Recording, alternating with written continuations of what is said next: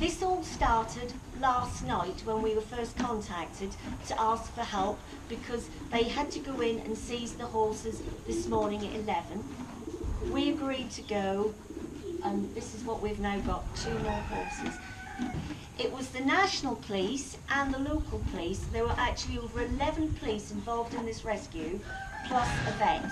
This is how committed the police force was to saving these animals.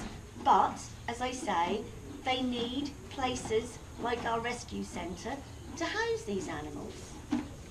Now, we already have 110 horses, ponies and donkeys living here.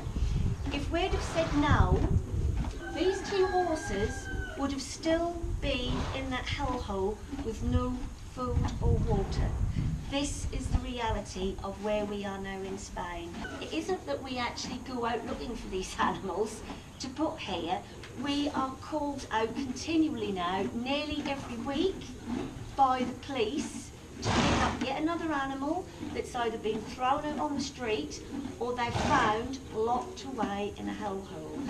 And this is why we need all the help and support that we can get to continue to do our work and to ensure that we never ever have to say no to animals like this because they need us.